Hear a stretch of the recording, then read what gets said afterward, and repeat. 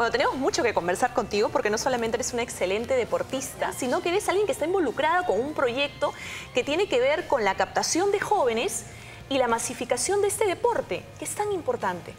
Claro, hace dos años la federación inicia con este programa que se llama Golf para Todos. Y bueno, es la primera cancha pública que está ubicada en San Bartolo.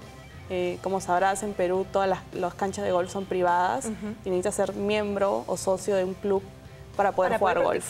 Claro. Y la idea es que, bueno, masificar el golf y con esta cancha pública eh, hemos hecho una escuela para menores. La academia funciona toda la semana, hay profesores, se les da el implemento que necesitan se les, da, se les da uniformes y lo que hace la federación es elige a los cuatro o cinco mejores de la academia y estos niños participan en los torneos que hace la federación en los clubes privados. Es interesante entonces que se haya inaugurado esta cancha pública, que la gente pueda ir a San Bartolo a practicar y que sea un primer paso, ¿no? Como un granito de arena para que esto se siga extendiendo.